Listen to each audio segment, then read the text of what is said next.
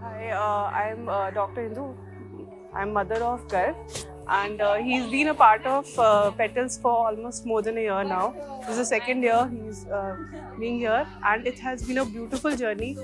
This school uh, is not a school; it is a different way the, the kids have been upbringing has been done here, and uh, I'm really glad to see send my kid over here, and he's really happy. It's we have to literally drag him out of the school from the education point of view, the way they are being taught, the way they are being taken care of, and uh, from nutrition point of view, everything has been on point and uh, we are really happy and we would even like to continue till the time we can with this particular school so i think uh, I and I would recommend more parents to be you know bringing their kids here only.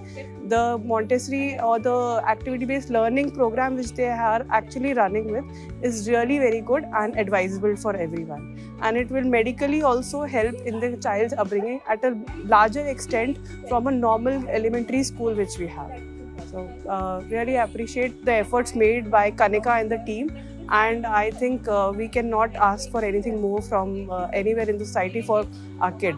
So this is the best option which we had and uh, we really look forward to it. Thank you.